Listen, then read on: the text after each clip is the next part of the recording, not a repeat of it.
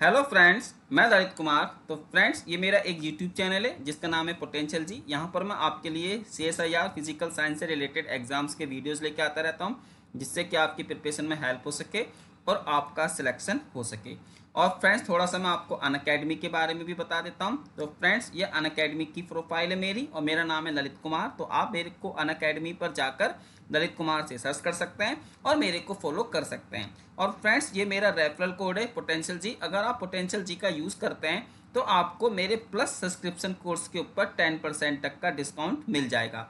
मैं यहाँ पर आपको नब्बे मिनट की लाइव क्लासेस देता हूँ, जिससे कि आपकी जो लर्निंग है वो इंक्रीज हो सके। तो यहाँ पे हमारे नब्बे मिनट की लाइव क्लासेस होती हैं तो आप इसको आकर यहाँ पे ज्वाइन कर सकते हैं। और टेन परसेंट के डिस्काउंट के लिए आप मेरा रेफरल कोड पोटेंशियल जी का यूज़ कर सकते हैं। तो फ्रेंड्स ये तो हो गया अन अकेडमी के बारे में।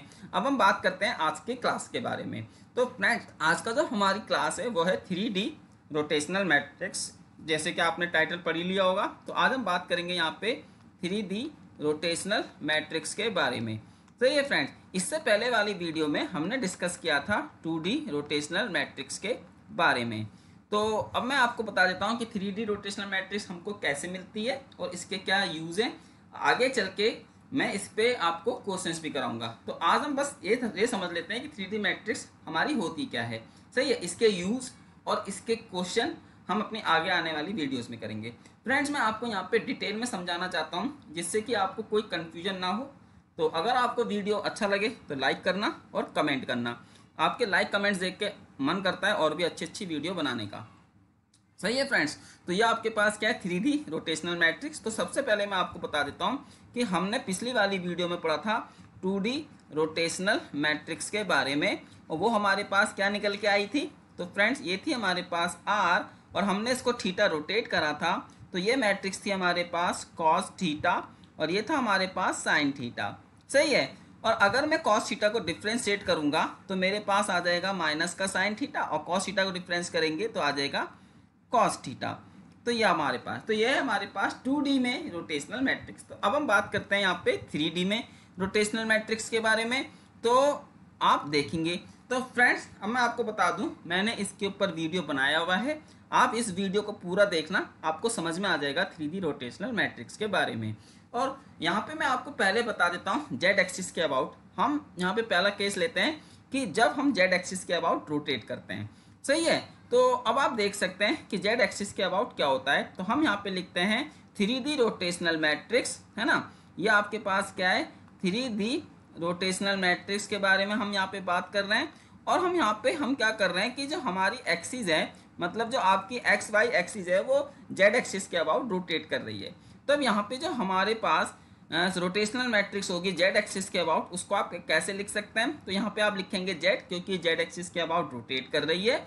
और इस केस में आप देख सकते हैं कि हमारी जो मैट्रिक्स निकल के आती है, वो होती है हमारे पास यहाँ पर कॉस थीटा आप यहाँ पे लिखेंगे कॉस थीटा फिर होता है आपके पास यहाँ पे माइनस का साइन थीटा और ये होता है आपके पास साइन थीटा और ये होता है आपके पास कॉस थीटा, फिर आपके पास ये हो जाएगा ज़ीरो, ये हो जाएगा ज़ीरो, ये हो जाएगा ज़ीरो, और ये हो जाएगा ज़ीरो ये हो जाएगा फ्रेंड्स वन तो ये हमारे पास क्या होती है फ्रेंड्स आप इसको यहाँ पर देख सकते हैं। ये हमारे पास होती है जेड एक्सिस के अबाउट रोटेशनल मैट्रिक्स सही है फ्रेंड्स ये हमारे पास क्या है? एक्स ये हमारे पास एक्स है। ये हमारे पास होगा एक्स एक्स ये हमारे पास है एक्स वाई ये हमारे पास है वाई एक्स ये हमारे पास है वाई वाई तो आपने देखा कि ये जो हमारे कंपोनेंट हैं, ये एक्स वाई और वाई एक्स और वाई वाई और एक्स वाई की डायरेक्शन में है। और जो हमारे ये वाले कंपोनेंट हैं, इसमें आप देखिए, सबका सब हमारा जेड आ रहा है। ये हमारा एक्स जेड है, ये हमारा वाई जेड है, ये हमारे पास क्या है? जेड एक्स ये हमारे पास क्या है? जेड वाई तो हमारे जो भी कंपोनेंट जेड डायरेक्शन में है, वो कैसे हैं? और ये हमारा है जेड जेड इसका मतलब क्या है कि जेड एक्सिस के अबाउट इसका जो रोटेशन है, वो वन होगा। अब आप इसको यहाँ पर मैंने इसको समझाया हुआ है एक वीडियो के थ्रू तो आप इस वीडियो को पूरा देखना, आपको यहाँ पे इजीली समझ में आ जाएगा।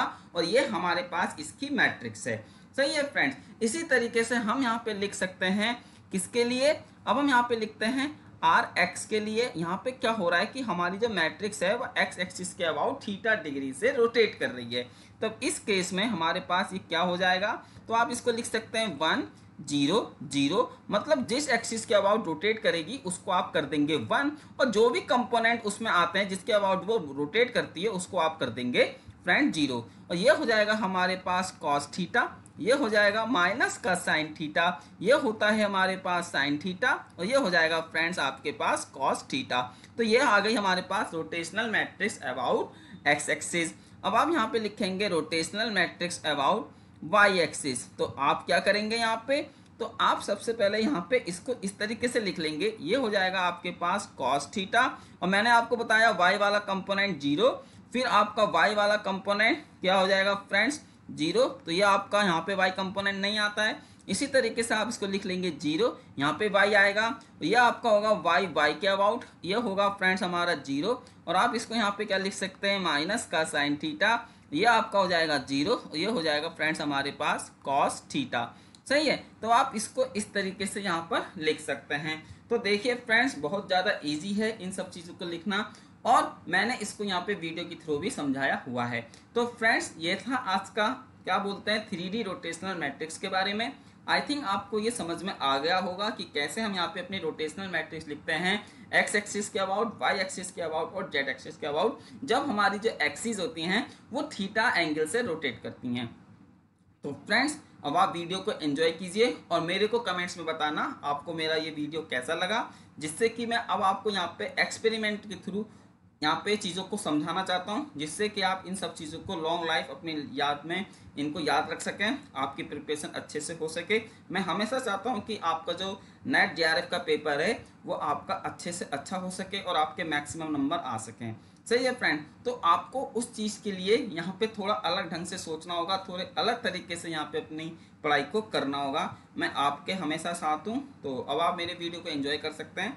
तो मिलते हैं आपसे अपनी नेक्स्ट वीडियो में। तब तक के लिए थैंक यू इस वीडियो को एंजॉय कीजिए। हम्म। तो फ्रेंड्स अब मैं आपको थ्री डायमेंशन रोटेशन मैट्रिक्स को एक एक्सपेरिमेंट द्वारा समझाने की कोशिश करता हूँ। आई होप आपको ये समझ में आएगा। तो अब यहाँ पे हम क्या कर रहे हैं कि यहाँ पे हमारे पास तीन मार्कर हैं। आप देख सकते हैं, जो हमारा ग्रीन वाला मार्कर है। सपोज़ करो ये जेड एक्सिस में रेड वाला मार्कर हमारा एक्स एक्सिस पे और ब्लू वाला मार्कर हमारा वाई एक्सिस पे। अब जो हमारा जेड वाला जो मार्कर है मतलब जो आपका ग्रीन वाला मार्कर है, जो हमारा जेड डायरेक्शन में, ये तो फिक्स है। तो आप इसको यहाँ पे फिक्स मान सकते हैं। मतलब ये, इसका जो रोटेशन है, वो हमारा चेंज नहीं हो रहा। ये हमारी एक्सिस यहाँ पर फिक्स है। लेकिन जो आपका रेड वाला मार्कर है और जो आपका यहाँ पे ब्लू वाला मार्कर है, ये हमारा जेड एक्सिस के अबाउट रोटेट करेगा।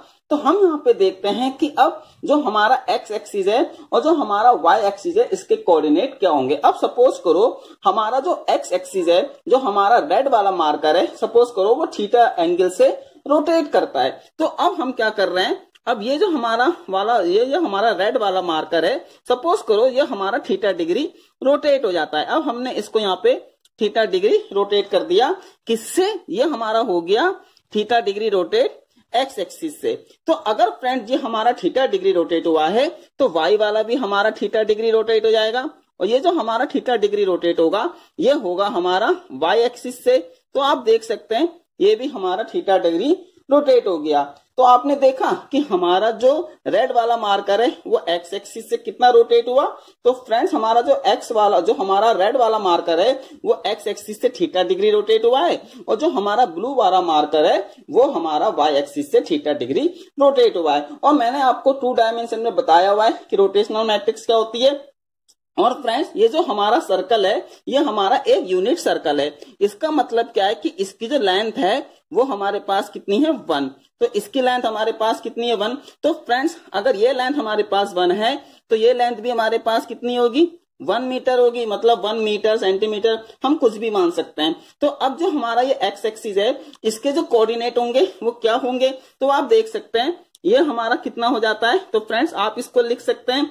तो ये होगा हमारे पास, ये हो जाएगा आर साइन थीटा आप इसको ये लिख सकते हैं आर साइन थीटा और ये जो हमारा होगा नीचे वाली एक्सिस आप इसको क्या लिख सकते हैं?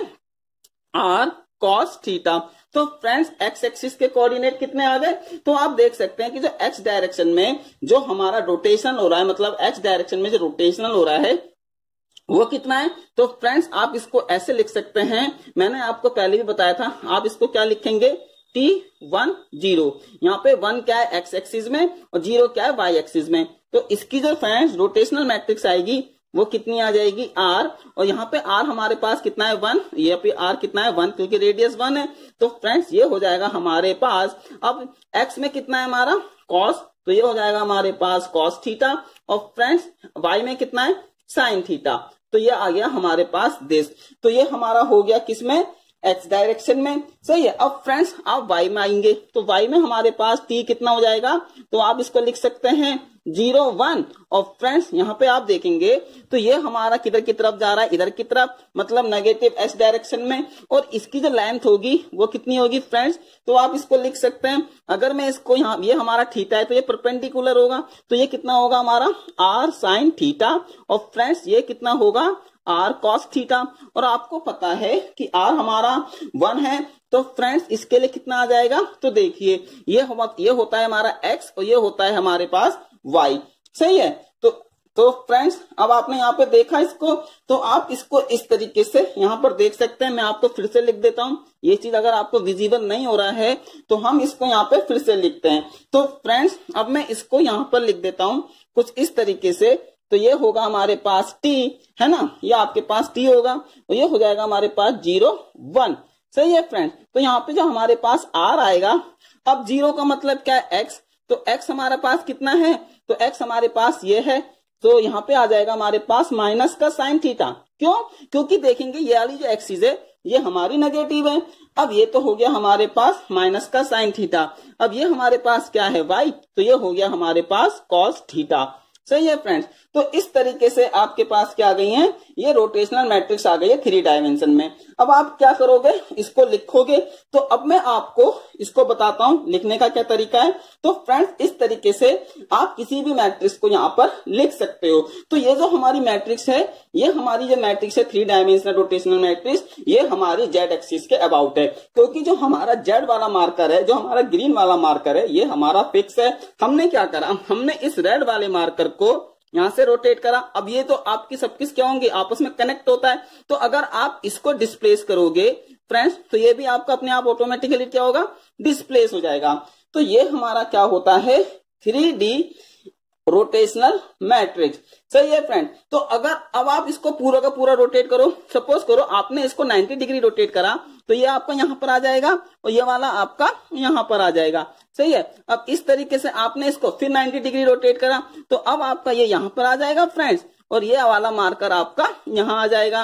और फिर आपने इसको थीटा डिग्री, फिर वो 90 डिग्री फिर रोटेट करा तो ये वाला आपका यहाँ आ जाएगा और ये आपका यहाँ आ जाएगा। लेकिन जो आपकी जेड एक्सिस है, ये हमेशा कैसी है? फिक्स और फिर आपने इसको यहाँ पे थीटा डिग्री रोटेट करा, वो 90 डिग्री तो फिर आपसे आपके पास ये दोबारा से यहाँ आ गया।